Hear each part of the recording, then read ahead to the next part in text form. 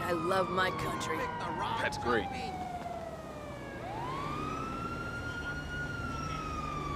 What are you staring at? Stupid!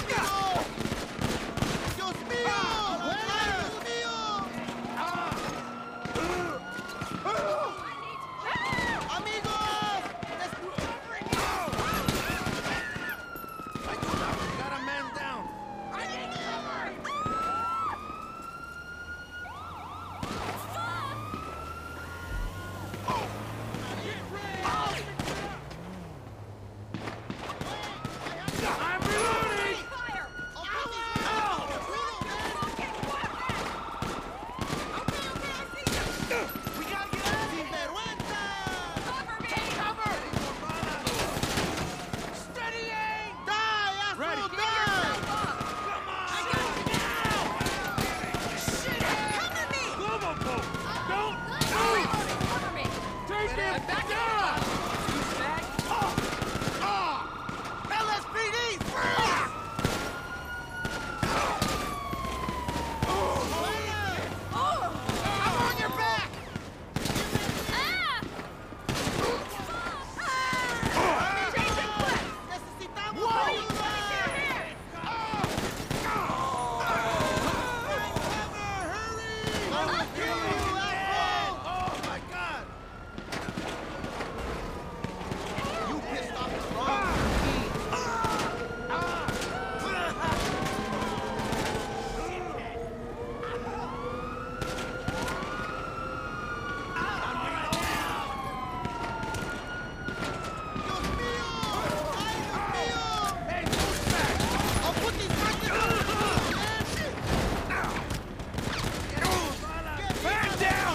Damn it!